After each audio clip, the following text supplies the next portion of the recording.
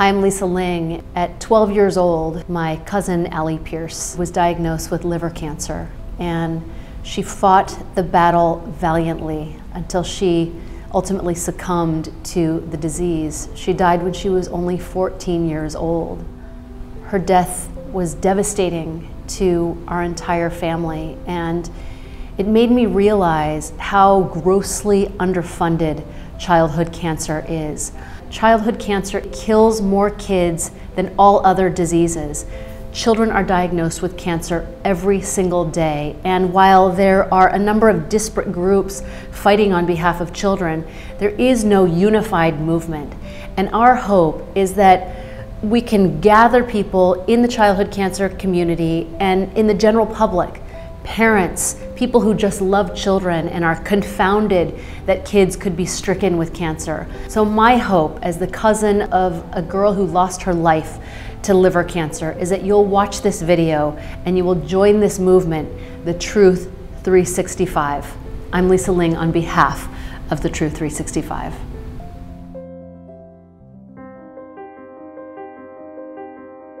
We could start a revolution against childhood cancer. It's like in a classroom, this is my experience. If we're told to be quiet and one little kid pipes up and starts talking, then another little kid starts pipes up and starts talking and it goes on and on and on until the whole classroom is screaming. So I think we can do that exact thing with raising awareness for childhood cancer. When I was seven years old, I was diagnosed with brain cancer and I didn't think I was going to make it. I felt broken inside. I didn't react well. I didn't know how to react because I didn't know what was yet to come. It is a scary thing to go through, especially for the first time. It stung a lot and it hurt a lot. And my dad said that my scream sounded like I was getting my head cut off with an axe. I'm not giving up. I have this motto, never back down to cancer. Childhood cancer is the biggest bully out there and you know we need to stand up to bullies. My biggest dream is to get rid of cancer and become a basketball player. When my mom and dad told me I had cancer, I felt sad, upsetting, and I had to quit soccer, baseball, school. It made my heart stop, and when it was stopped, just feel like nothing was happening. Before my surgeries, I'd always have a scary pain in my stomach, feeling like almost a tornado or that I was upside down every single minute. I do get mad and frustrated quite a bit just because like I just want to be done. It's horrible. If you don't say what's on your mind, then all your feelings bottle up inside you and then you just explode eventually. It made you that upset and depressed that it just made you want to cry. My greatest fear is getting cancer again because I honestly don't know how I made it the first time and I don't know if I would make it a second time. And I think that cancer needs to be knocked down a notch. And that's what I'm fighting for. If I lose my battle, then you know, I'm, I'm gonna want other people to carry on with the war. They're gonna win this war. Childhood cancer kills more kids in our country than any other disease and thousands and thousands of kids are diagnosed every year. A lot of times people say it's rare, but in the big scheme of things, it's really not. There are so many kids diagnosed and so many kids dying every year. During treatment, about 80% of the children experience severe life-threatening or fatal toxicity. 80% severe life-threatening or fatal toxicity. That's really unacceptable. We are dying inside. Like, it may not show it on the outside, but we are dying inside. We need to have better, safer treatments for us because a lot of kids with cancer develop problems from their treatment. My treatment is over 30 years old and uh, it's pretty harmful and there should be more modern ones that aren't as harmful to me. When I was young, I had cancer and the medicine the doctors gave me to cure the cancer gave me a second type of cancer. When I get chemo, the nurses come in in hazmat suits and gloves and a mask and they can't touch it because it's poison. and I have to put it in my body. All of the nasty things that come with chemo is the only thing that we have for these babies to be able to live. I was very puffy in my face and in my belly area.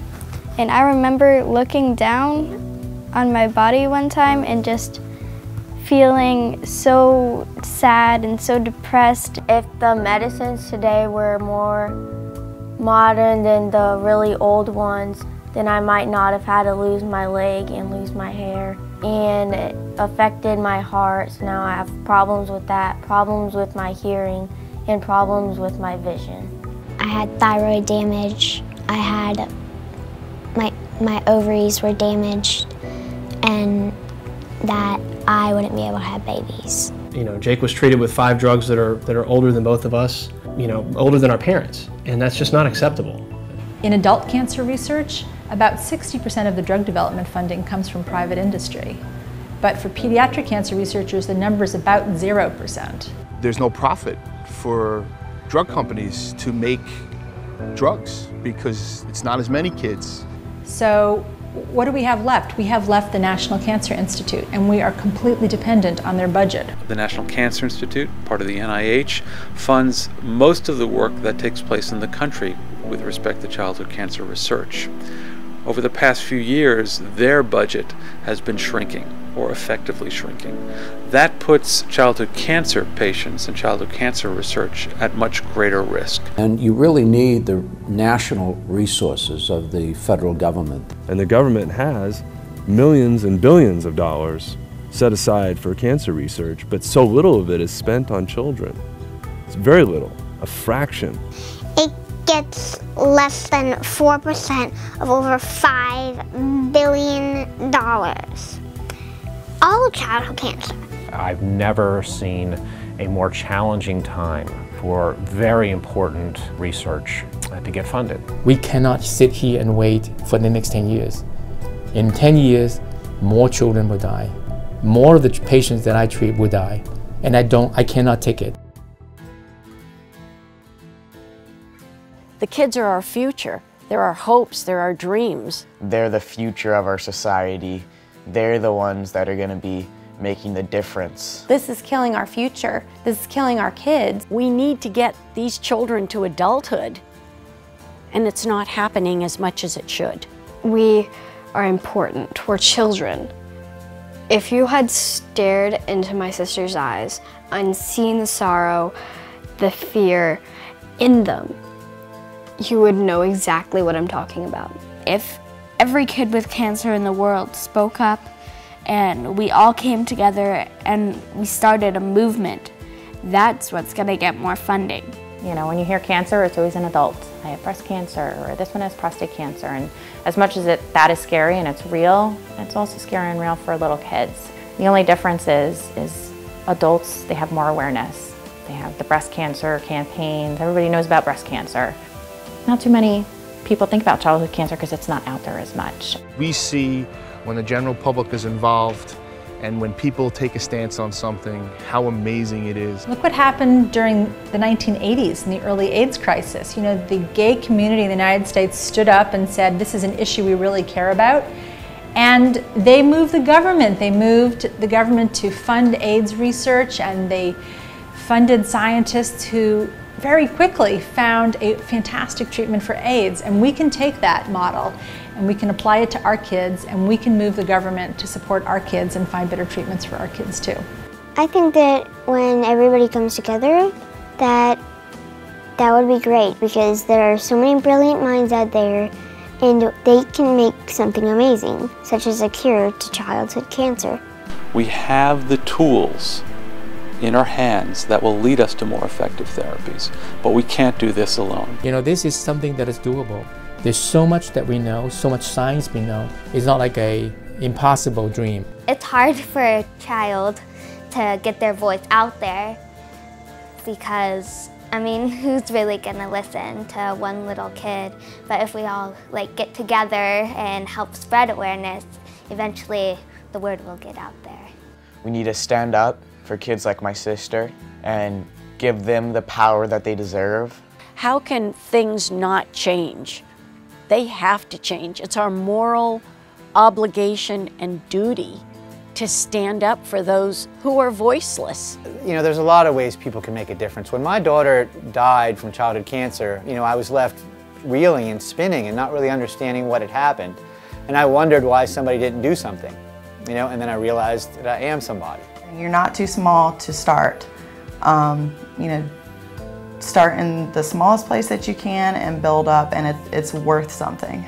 And if we have the opportunity to raise awareness, to, to do some fundraising, to do anything to promote and help children who are either going through treatment, who will go through treatment, who've gone through treatment, that's what we need to do.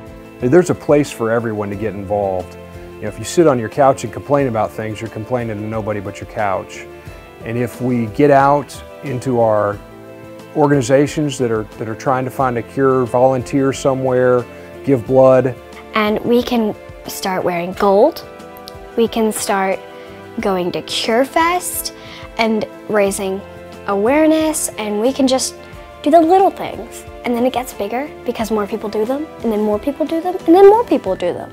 Contact your member of Congress. Tell them this is a priority. If you tell them, and if a sufficient number of people tell them this is a priority, they will make it a priority. Through DECA at my high school, we volunteer at CureFest, we rally at the National Cancer Institute, we petition Congress for more funding, and we made a club to help connect children with cancer and the community. Every family, even though there's a lot, doesn't have the resources, doesn't have the time to do this on their own because they've got a child in the sick room and they've got to spend time with them. So all their communities, the public has to get together and do something about this because our families can't. One way to make a difference is sharing this video.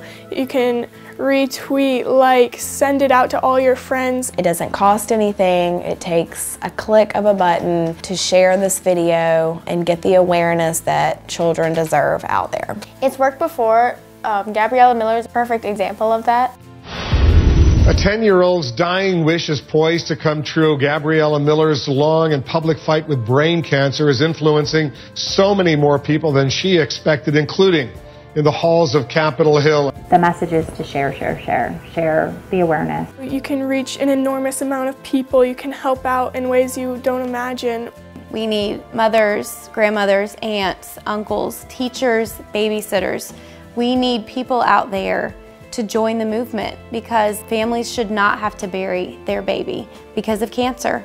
It's within our capacity, our ability to change things, so we must. Thank you so much for watching. We hope we've inspired you to join this movement, The Truth 365. To find out more information, just go to the website, thetruth365.org, and we truly, truly hope you will join this movement.